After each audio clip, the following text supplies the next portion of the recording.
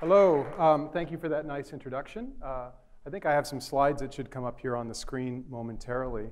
Uh, but I'll start by telling you a little bit about um, uh, the project that I'm working on. I've been working with an NGO called, uh, there we go, I've been working with an NGO um, uh, called CBM Canada and Autodesk, a private company uh, doing, creating CAD CAM software to do a project basically developing a prosthetics, a 3D printing prosthetic solution for the developing world. And the title of my talk, Without a Leg to Stand On, actually refers uh, to the domain area that we're trying to solve. We're actually trying to create legs for people to stand on. Um, but it also, in some ways, refers to my own status as a social scientist, not a technologist, not an engineer, not a medical researcher, attempting to intervene in this kind of technological landscape uh, through this 3D printing process. Uh, but before I go into that, I'll talk about that later in the talk. I want to tell you a little bit about the project we're working on and what we're trying to do. So the World Health Organization has estimated that over 30 million people in the developing world need prosthetics or some kind of mobility aid. Um, and in response to this need, the International Federation of Red Crosses and Red Crescent organizations uh, has developed a prosthetic tool chain, a process of making prosthetics intended to help serve this need. And uh, in fact, uh, uh, Justine, that you see here on the screen, um, was one of the people that was uh, helped by this tool chain. Uh, Justine lost her feet uh, and her lower legs to disease when she was quite a small child. For many years, she walked around on her knees using sandals as a kind of a padding. Um, and she suffered a lot because of this. Both she suffered and her family suffered, her community suffered, because of that reduced mobility that she had. She had difficulty um, uh, getting into society, she had difficulty getting education, she had difficulty taking care of herself, and it really took, it, took its toll on both herself and her family and her community. Um, she went to CoRSU uh, Hospital, which is one of the partners in the project that I'm working on, CoRSU Hospital in Uganda, to go through this Red Cross uh, prosthetic tool chain and to get prosthetics. Uh, that process starts with a manual plaster casting of the residual limbs of the uh, person. Um, that negative plaster cast is transformed into a positive plaster cast, uh, which is then manipulated a little bit in order to uh, basically customize it for the production of a socket. That is placed on a vacuum uh, casting machine. That's what you see here in the slide. Um, there's a series of other um, kind of manual tasks using grinders and other kinds of equipment that are done in order to um, basically prepare that. It's fitted with a standardized pylon, which is like the shank of the leg, and a standardized foot. And then through a process of, a brief process of rehabilitation and training, you end up with a patient with the ability to walk. So here's a picture of Justine giving a high five. She's walking just fine. And it's a great, it's actually a great story. It's a great success story for this Red Cross process and for, the, for these hospitals like CoRSU Hospital to actually de de deliver these kind of prosthetic solutions. So that being the case, why is there any kind of need for 3D printing, for any of these other kinds of technological interventions? And um, and there is actually specifically two problems with this uh, tool chain that I want to, to highlight to you right now. The first is that the prosthetic that I just described takes about five days to produce. Um, there's a lot of manual processes involved. Uh, there's, there's a lot of steps. Um, and although five days is an extremely uh, accelerated process for the delivery of a prosthetic, at least compared to the process here in Canada or in the developed world, in which it might take two or three weeks, uh, and it's a much more comprehensive fitting process, five days is still a dramatically long period of time to ask people who are living a subsistence existence to, in a sense, step out of their lives. So five days actually dramatically reduces the number of people who can actually be fitted with these prosthetics. Um, and in fact, uh, in uh, conversations with CoRSU, um, they've informed me that in uh, some cases, pa uh, patients have presented with their families to get the prosthetic made. They've been there for a couple of days. They get about halfway through the process, and then due to the contingencies of a subsistence life, they are forced to leave. Um, that's a terrible uh, outcome for two reasons. First, obviously, the patient doesn't get a prosthetic, but equally, the hospital has spent time and energy developing it that all goes to waste. So that's, that's a really big problem, this temporality of the prosthetic process which needs to be thought about. But the bigger issue, and this is actually, to some degree, to me anyway, when I learned this, kind of surprising, um, that prosthetic tool chain that I just described, in fact, takes um, a, a skilled, trained prosthetist and prosthetic technician to carry out. And the problem here is that the uh, developing world lacks these people, lacks these personnel. In fact, the World Health Organization has estimated that there's a 40,000 person gap in the prosthetic, in the training and skilling of prosthetists and prosthetic technicians.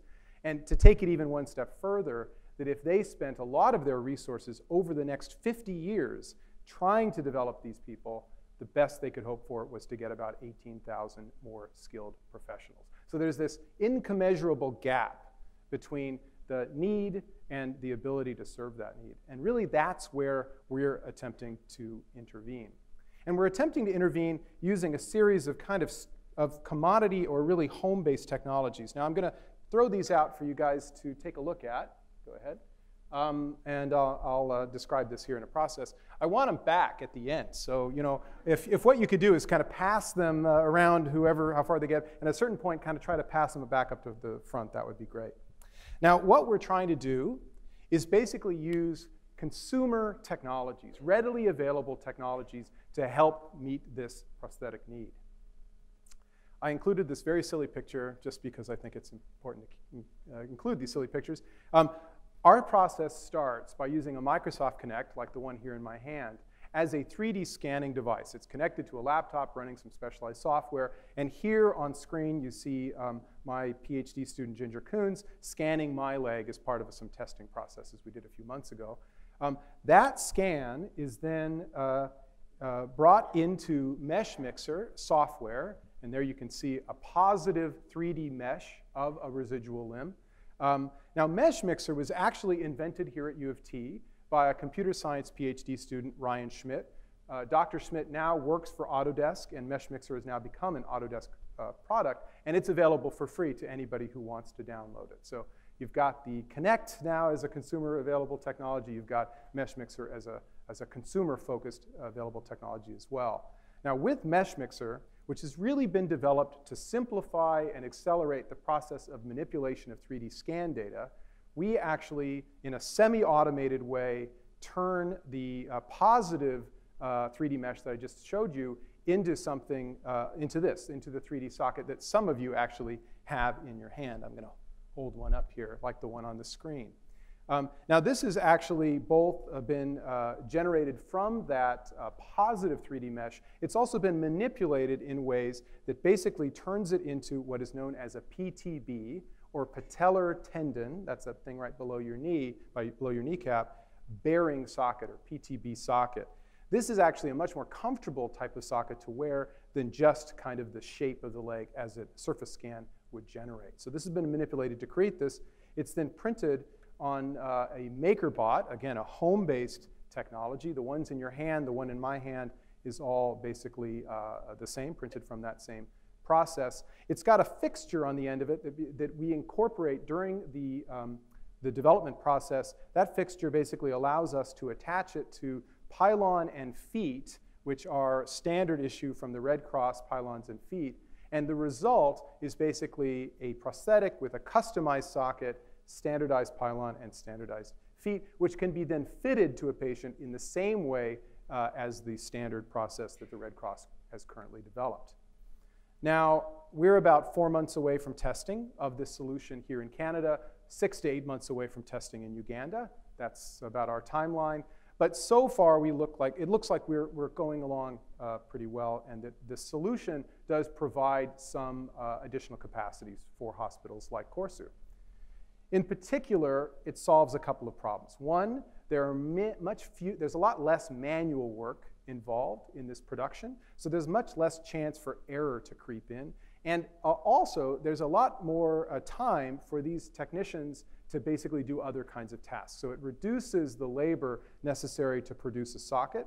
Um, and importantly, it also dramatically reduces the time. So instead of five days, which is what the Red Cross standard process involves including the um, drying in the African sun, as they say, of, of the um, plaster casts, uh, we can do this process in, at, in two days.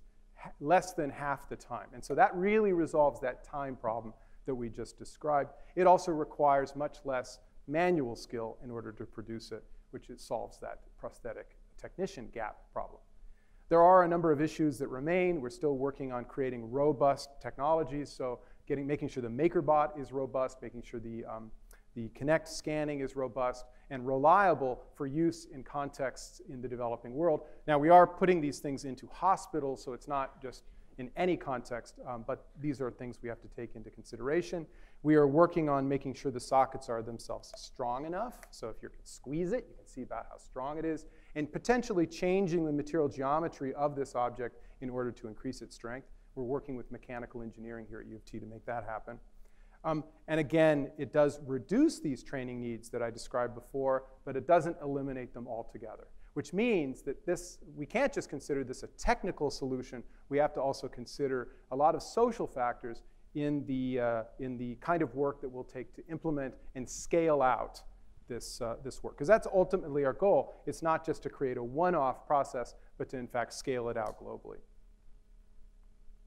Now, if that was the only story that I was going to tell you today, um, you might say, well, I've seen this before. I've seen a lot of similar stories, such as the uh, Not Impossible Labs um, uh, 3D prosthetics process where they're printing prosthetic arms in the Sudan, or potentially also the RoboHand project that maybe some of you had seen as well. And in fact, our project kind of fits within some of that logic as well. You know, the idea of using this emerging technology, this developing technological interventions to basically resolve some kind of social issue. Um, so it fits well within that, but interestingly enough, it's actually not much of a technical invention uh, or involving technical novelty. In fact, if you look at the literature from the prosthetics and orthotics uh, context, what you find is work being done on computer-aided design and computer-aided manufacturing that dates back to the 1980s. The first paper being uh, published in 1984. That's a long time ago, right? Um, moreover, uh, if you look at, uh, into those papers, what you find is some of the same kind of stuff that we're doing in MeshMixer was already being done in computer software as far back as 1989. So this is actually a screenshot of a computer interface where they're being, doing the kind of modifications to that socket uh, that we're doing in MeshMixer. So it's not exactly an entirely novel technological intervention in the way that you might think it is. Instead, I actually think it's much more an example of the value of a kind of democratization of technology that we might associate with something like the maker movement. Uh, you know, the, the kind of technologies that we're making use of, the uh, 3D printers, the scanners, and things like that, have actually all been developed because of individuals working to open and democratize these technological interventions. So the RepRap project, an open source 3D printer project, which in a sense is the foreground to the MakerBot, um, the kind of bounties put on opening up the Microsoft Kinect, which was a closed system, uh, done, these bounties being provided by people like Limor Fried of Adafruit, open source hardware and software uh, advocates, and even MeshMixer itself, this design software, being produced and distributed for free by Autodesk in a, in a sense uh, to generate a kind of a new audience, uh, new groups of individuals engaging in 3D design. That's really, I think, a big part of this story. And the prosthetics project is an example of what happens when you have those kinds of uh, capabilities. But I want to take it one step further um, and return a little bit back to that uh, without a leg to stand on. Because again, I want to remind you that I am not an engineer. I am not uh, a, uh, medical um, uh, researcher. I'm in fact a social scientist. And in fact, as social scientists, we're not supposed to be able to explain electricity uh, or deal with technologies in a kind of a real way. Instead, we're supposed to be able to explain people. Now, I do think that's relatively true, and I do think that uh, being able to explain people is very important. But in fact, what I want to argue is that there is a new kind of group of social scientists and humanities scholars, like myself, who are interested in taking that understanding that we can derive from the deep understanding of society that comes from fields like sociology and anthropology and history and philosophy and all these other areas, and actually use those understandings to facilitate and create technological interventions that fit well into particular social contexts. Now, I coined a term in 2007 uh, called critical making, and I've been studying what it means to, in a sense, develop technological and social understandings simultaneously. And that's really the focus of my research, and the prosthetics project is, in a sense, a sign of that kind of work. Um, and in fact, the, our understandings of prosthetics, uh, uh, where, where we start from for this project, emerged from a series of workshops we've held over the last few years, where we brought in artists and designers and makers and prosthetic uh, wearers and, and medical professionals all together uh, to explore through both thinking and making what prosthetics are and what they mean. This involved casting, this involved experimentation with microcontrollers, that, and, and the development of these kind of funny little one-off makery kinds of prototypes. But it was through that work that we really developed an understanding of the relationship between prosthetics, communities, society, and individuals that has served us well in the construction of the project that I've just shown you. And in fact, I want to end with, uh, by using that to respond a little bit to a recent statement done by our honorable Republican representative from Virginia in the United States, who basically said funds currently spent by the government on social science would be better spent helping find cures to diseases. And what I want to say about that is, well, actually, uh, Elliot, um, that world those two worlds are maybe not quite so far apart. That in fact, the social sciences and investing in the social sciences and carrying out social science research can actually, in some cases, go a long way towards, in fact, curing the social ills, including things like disease, that we currently face.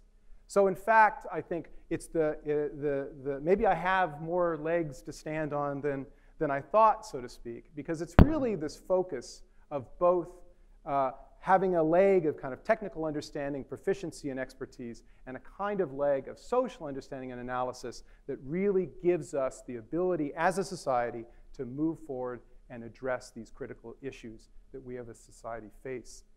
Um, and here I want to end simply by thanking uh, the partners on this project, CBM Canada, Autodesk Research, Corsu Hospital, and groups like the Canada Foundation for Innovation the Ministry of Research and Innovation, and direct you to the Critical Making Lab or the Semaphore Project at U of T if you want to find out more about what we do.